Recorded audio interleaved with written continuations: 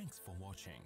Don't forget to like, comment, share and subscribe to सीरत तय्यबा के मुख्तलिफ़ पहलू उनमें से एक पहलू ये है कि हजूर अलैहिस्सलाम सरबराह ममलकत भी है और कोई छोटी सी रियासत के सरबराह नहीं है। सरकार तो आलम सल्लल्लाहु अलैहि वसल्लम ने मदीना शरीफ की एक छोटी सी बस्ती से रियासत शुरू की एक पहली रियासत की बुनियाद रखी। और आप सल्लल्लाहु अलैहि वसल्लम के विसाल से पहले वो तकरीबन दस लाख मुरबा मील पर फैल गई आपकी रियासत, वो बहर अहमर रेड सी के साहिल से लेकर बहरीन तक जाती थी। शर्क गरब में और जनूब शुमाल में तबूक से लेकर यमन की आखिरी सरहद तक जाती इतना इलाका अलैहि वसल्लम ने अपनी ज़िंदगी में फतह कर दिया था। अपनी जाहरी हयात के अंदर इतने बड़े रकबे के ऊपर आपने इस्लाम का परचम लहरा दिया था। तो इतनी बड़ी रियासत के सरबराह है अलैहि वसल्लम। मगर आपका अंदाजे हुक्मरानी कैसा है? आप कैसे हुक्मरान हैं? किस तरह आप हकूमत फरमाते हैं? उसकी चंद झलकियाँ मैं आपके सामने रखना चाहता हूँ जो मैंने लिखी हैं। उनमें से चंद एक आपके सामने रखता हूँ। पहली बात, कि जब आपने हुकूमत कायम फरमाई, रियासत कायम फरमाई मदीना तय्यबा में तो आप के नाम से सुनते रहते हैं कि आपने एक अकद मुआखात कायम फरमाया था। अकद मुआखात मुआखात का मतलब होता है भाईचारा। जी, ब्रदरहुड। अकद मुआखात आपने कायम फरमाया कि कुछ सहाबा नादार थे और कुछ सहाबा मालदार थे। अल्लाह ताला ने तकसीम फरमाई है, किसी को माल दिया है, किसी को नहीं दिया। तो आप सल्लल्लाहु अलैहि वसल्लम एक मालदार सहाबी को खड़ा करते और एक नादार सहाबी को खड़ा करते और फरमाते कि लो, आज से लेकर तुम आपस में भाई भाई तुम आपस में भाई भाई इसी तरह मुहाजरीन जो आए थे, वो अक्सर सब कुछ छोड़ छाड़ के आए थे। अपना घर बार अपना कारोबार, अपनी बिज़नेस जो कुछ भी थी, वो वहाँ छोड़कर आए थे। यहाँ उन्होंने ज़ीरो से शुरू करना था। और जो अंसार थे, वो ऑलरेडी यहाँ शहर के रहने वाले लोग थे इस्टेब्लिश थे। तो हजूर सलाम ऐसे भी करते कि एक मुहाजिर को खड़ा करते और एक अंसारी को खड़ा करते और फरमाते कि लो, आपस में तुम आज से लेकर भाई भाई हो। तो आपने इस तरह से लोगों को एक दूसरे का मददगार बनाया और अकद मुआखात के ज़रिए फिर ये रियासत जो थी वो जल्दी अपने पैरों पे खड़ा होने शुरू हो गई। और वहीं वो वाक्य भी हुआ जो आप उलमा से सुनते रहते हैं कि भाई भाई बना दिए, हज़रत अली की आँखों में आँसू आ गए। और आपने देखा कि अली रो रहा है। फरमाया अली, तुम रो रहे हो। तुम्हारी आँखों में आँसू है। अर्ज़ किया कि आपने सबको भाई दे दिया है। मुझे कोई आपने भाई नहीं अता फरमाया। मेरा कोई भाई नहीं बनाया। तो फरमाया, मैंने तुझे अपने ही लिए रखा हुआ था। फरमाया, अंत फिर दुनिया वाल आखिरा तुम दुनिया और आखिरत में मेरे भाई हो। तो कह ये रहा हूँ कि हजूर वसल्लम ने अकद मुआखात कायम फरमाया। ये आपकी एक वहजियत हाकिम, एक बेहतरीन, एक आपकी तरकीब थी लोगों को एक दूसरे का मददगार बनाने की। फिर आपने हदूद इस्लामिया को कायम फरमाया। हदूद इस्लामिया, क्योंकि एक रियासत तभी बेहतर चल सकती है कि उसमें अमन अमान हो। वहाँ कोई किसी के ऊपर ज़्यादा ना कर सके। कोई किसी पर दस्तराजी ना कर सके, किसी की इज़्ज़त पे हमला ना कर सके, किसी के माल पे हमला ना कर सके, चोरी ना कर सके, बुराई ना कर सके। तो उसके लिए हजूर सलाम ने इस्लामी सजाएँ नाफिज फरमाई और इस्लामी सजाओं को खुद कायम करके दिखाया, बताया कि इस तरह चोर का हाथ काटा जाता है। आपने दिखाया कि किस तरह शादीशुदा होकर बदकारी करे, मर्द हो या औरत हो और हो शादीशुदा तो उसको किस तरह संसार किया जाता है? और अगर शादीशुदा न हो और बदकारी करे तो अस्सी कोड़ों की सजा दी जाती है। और जो किसी पर झूठी तहमत लगाता है आजकल तोहमत लगाना इतना आसान हो गया है, जब से ये सोशल मीडिया आया है, किसी की इज़्ज़त को उछालना इतना आसान हो गया है। कि किसी की इज़्ज़त महफूज नहीं रह गई, मगर इस्लाम का कानून है कि जो किसी के ऊपर झूठी तोहमत लगाए तो उसको अस्सी कोड़ों की सजा है। किसी को चोर कह दिया, किसी को हरामजादा कह दिया, किसी के ऊपर कोई इल्ज़ाम लगा दिया तो उसकी सज़ा है। हजूर सल्लल्लाहु अलैहि वसल्लम ने सज़ाएँ नाफिज फरमाई। चोरों के हाथ काटे आपने, और शादीशुदा बदकारी करने वालों को आपने संसार फरमाया। तो तब जाकर माशरे के अंदर अमन और अमान कायम हुआ। फिर किसी को ज़रूरत नहीं थी कि किसी के माल की तरफ़ देखे या किसी की इज़्ज़त की तरफ़ देखे। ये इस्लाम की सजाएँ आपने कायम फरमाई है। अफसोस है कि आज मुसलमानों ने इन चीज़ों को छोड़ दिया है। और माजरत खाना रवैया इख्तियार किया हुआ है कि नहीं नहीं, ऐसे है ऐसे है। भाई, जो इस्लाम की सजाएँ हैं, जो इस्लाम की हदूद है, वो इस्लाम की हजूर सल्लल्लाहु अलैहि वसल्लम का इरशाद है। बात उसी तरफ़ चली जाएगी। फरमाया कि एक हद का कायम करना चालीस दिन की बारिश से ज़्यादा बरकत वाला है।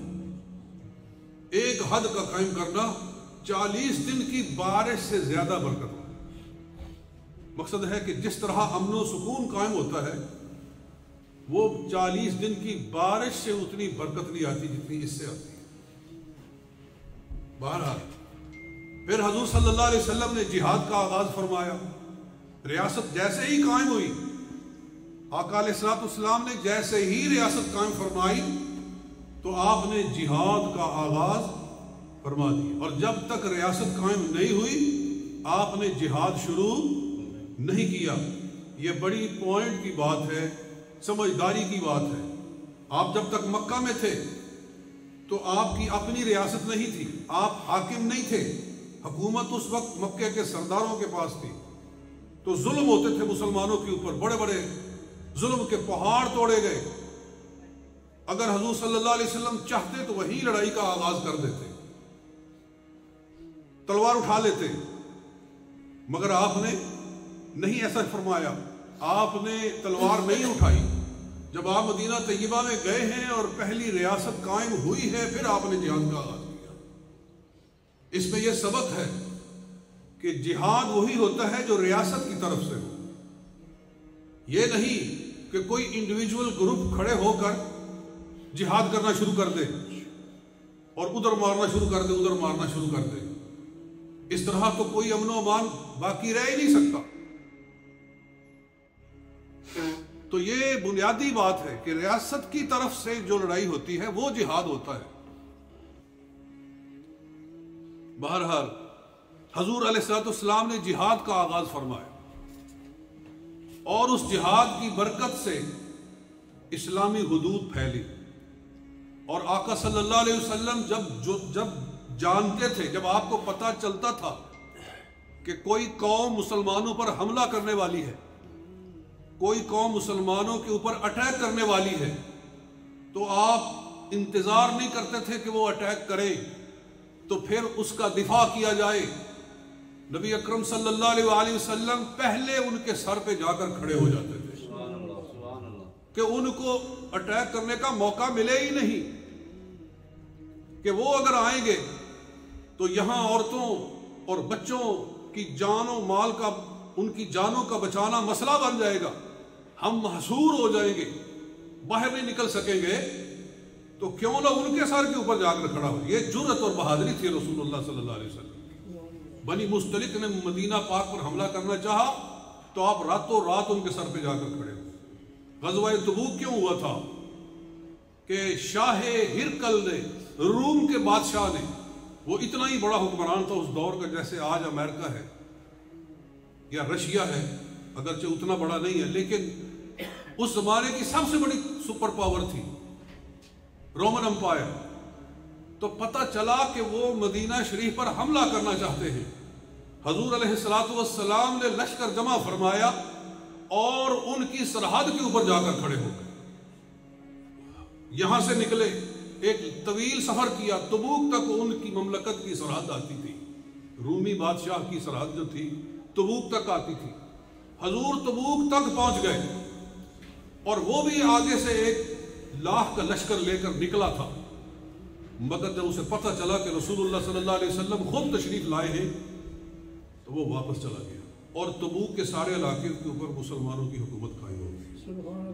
आप पूरे तबूक को फतह करके वापस तशरीफ़ तो जिहाद के ज़रिए आज मुसलमान अगर अपनी इज़्ज़त को बचा सकते हैं अपने ऊपर होने वाले मजालिम को रोक सकते हैं तो उसका ज़रिया वही है जो अलैहि वसल्लम ने फरमाया। हम हाथ जोड़ जोड़ कर माफिया मांग मांग के अपना जीने का रास्ता बना रहे ऐसे नहीं जिया जाता। तो हजूर सलाम ने जिहाद फरमाया। उसके बाद ये भी नुकता अर्ज़ करना चाहता हूँ कि हजूर सलाम ने बहसीत सरबरा होने के बहसीत रियासत का हेड होने के आपने सादगी की मिसाल कायम फरमाई। आपने बादशाही में फकीरी करके दिखाई। सरकार दो आलम सल्लल्लाहु अलैहि वसल्लम का कोई दरबार नहीं होता था। कोई पहरेदार नहीं होता था, कोई गार्ड नहीं होता था। सरकार इसी तरह लोगों में घूमते फिरते थे, जिस तरह आम आदमी घूमता फिरता पाँच टाइम की नमाज़ मस्जिद में पढ़ाते थे। और सादगी की यह हालत थी कि उम्मुल मुमिन आयशा सिद्दीका रज़ी अल्लाह तला फरमाती है कि आप अहले खाना का हाथ बटाते थे। नमाज़ का वक्त होता तो मस्जिद में चले जाते थे। मस्जिद में नमाज़ पढ़ा के वापस आते तो फिर घर के कामों में अपनी अजवाज की मदद करना शुरू कर देते।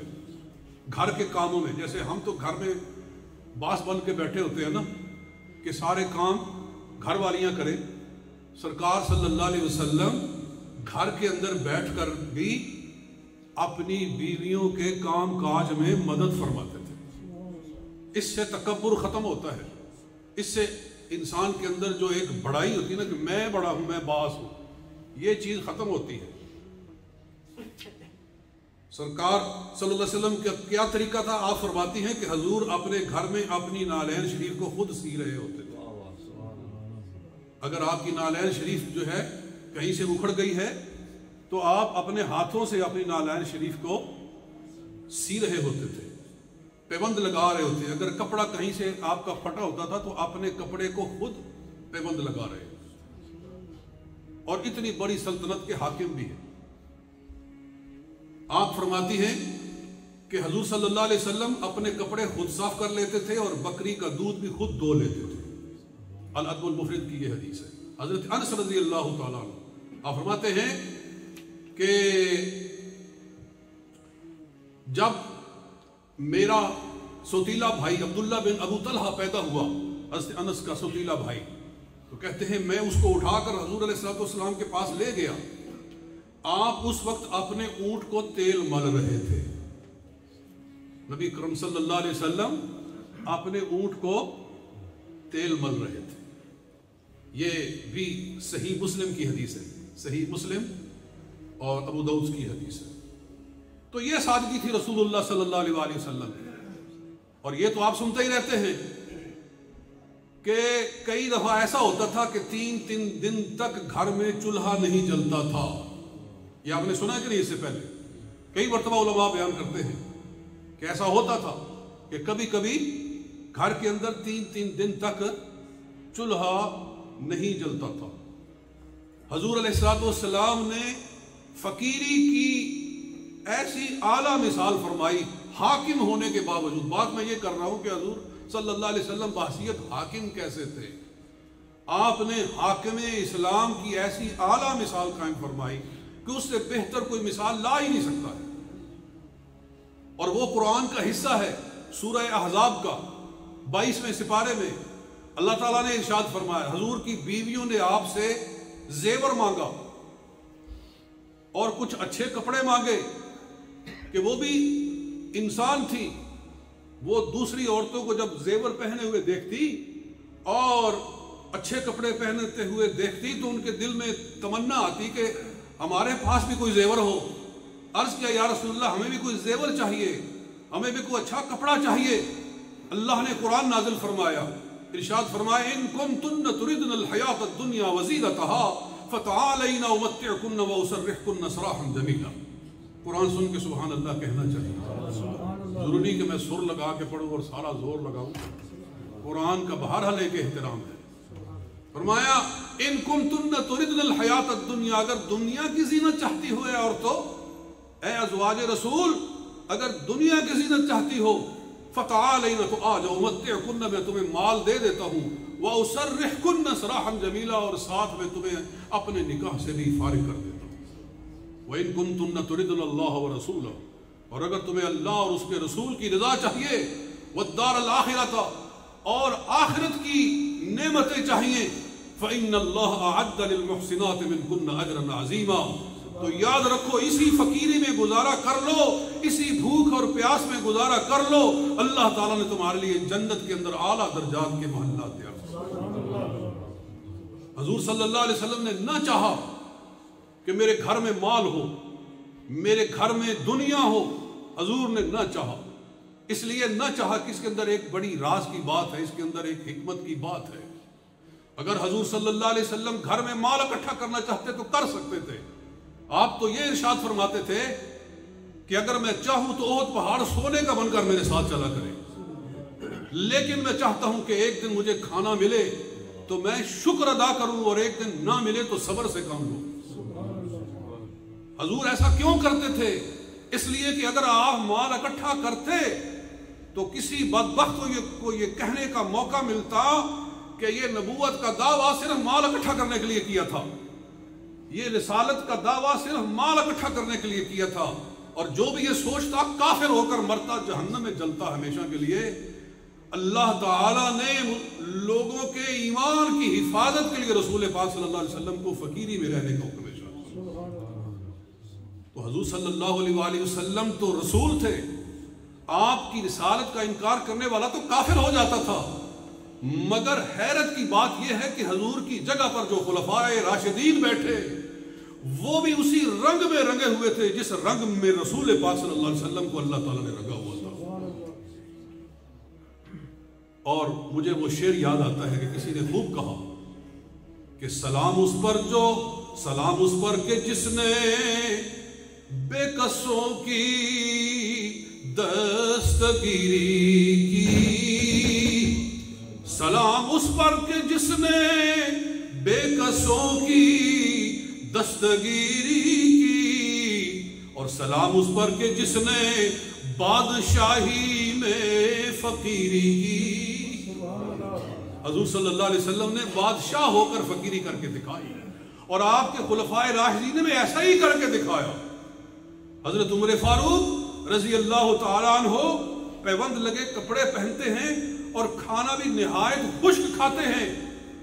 सहाबा किराम ने महसूस किया, कहने लगे, इनसे कोई कहे कि कुछ तो अपना ख्याल कर लो, कुछ तो अपनी हालत को अच्छा कर लो। कहने लगे, मगर जुरत कौन करे इनसे कहने की? कोई जुरत नहीं कर सकता। कहने लगे कि इनकी जो बेटी है, हज़रत उम्मीन हफ्सा रज़ी अल्लाह हजूर की जोजा, और इनकी बेटी है, उनसे कहो कि वो उम्मुल है।